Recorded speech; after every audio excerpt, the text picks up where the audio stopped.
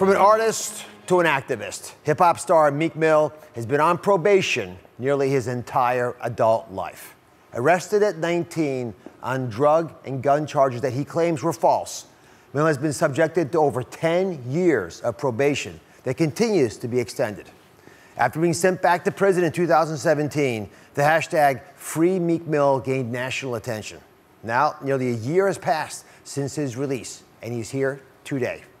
His story has sparked an important national debate, bringing many criminal justice issues front and center. And today, I challenge you, all of us, to open yourselves up to an unsettling reality that has driven a wedge into our country. Take a look at Meek Mill's story. Meek Mill, the American rapper, songwriter, and activist, is as known for his legal issues as he is for his musical success.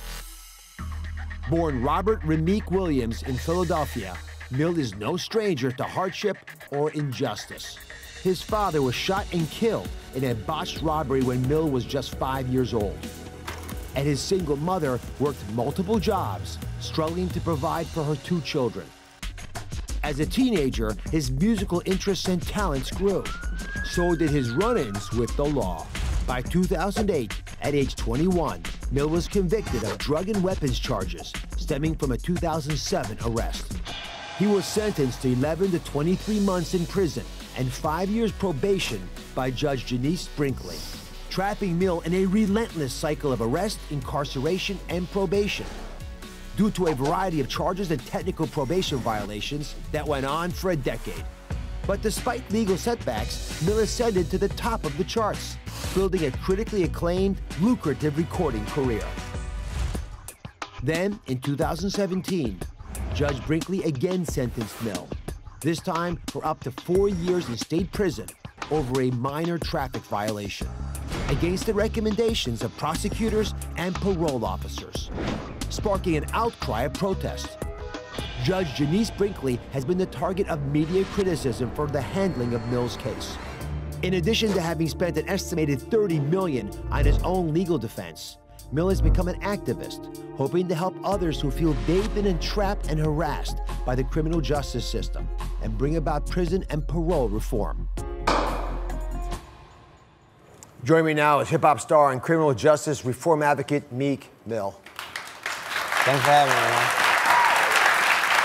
There's a lot to talk about. You've been very brave to help lead this charge. So let's go back to that mugshot I just saw. Yeah. Your legal troubles stemmed from an arrest that happened when you were 19 years old. Yeah. That story is not that uncommon in itself, but this appearance in your mugshot really caught me off guard. What, what happened that day? Uh, I think uh, the world pretty much know how that go. I'm a young black kid, and I grew up in a neighborhood where it's not a good neighborhood. Uh, I got handcuffed. I got put on the ground. I got knocked out a few times, as you can see. I got stitches in my face, both sides of my face, hair ripped out, and uh, I was waking up kind of at the hospital at that point. What was your life like before this all started?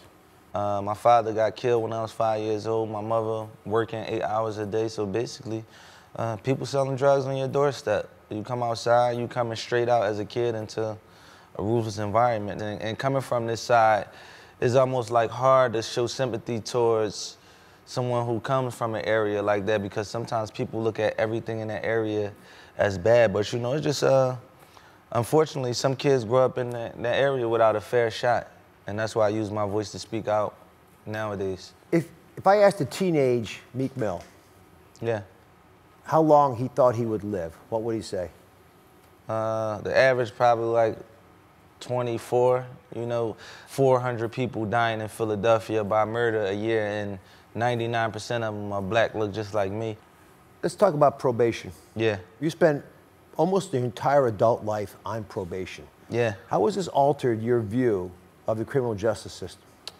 Uh, me, uh, I'm a strong individual, and I got a drive and uh, determination to make all bad situations turn out to be good.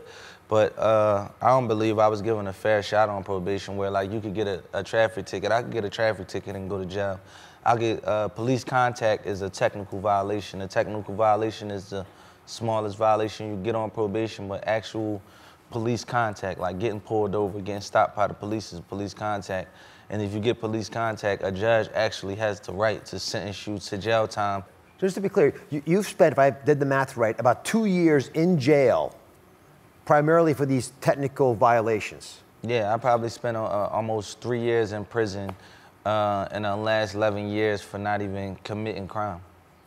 Thank you for watching. Don't forget to subscribe and turn on notifications so you never miss out on new videos to live the good life.